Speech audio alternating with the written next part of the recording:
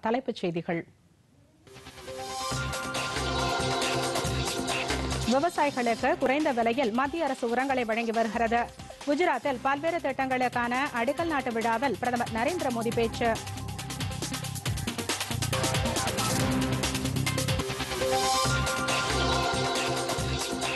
ஓய்வு பெற்ற பத்திரிகையாளர்களுக்கு மாதம் பத்தாயிரம் ரூபாய் ஓய்வூதியம் வழங்குவதற்கான ஆணைகள். முதலமைச்சர் மு க ஸ்டாலின் வழங்கினார்.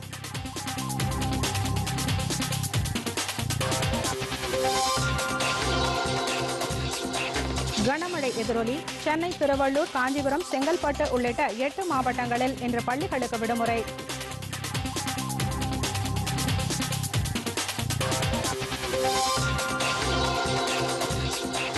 பாலஸ்தீன அகதிகள் நலனுக்காக இரண்டு புள்ளி ஐந்து மில்லியன் டாலர் நிதியுதவி.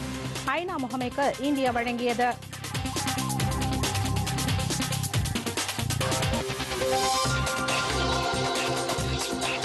பங்களாதேஷுக்கு எதிரான ஒருநாள் மற்றும் டெஸ்ட் கிரிக்கெட் போட்டிக்கான இந்திய அணி இந்திய கிரிக்கெட் கட்டுப்பாட்டு வாரியம் அறிவிப்பு.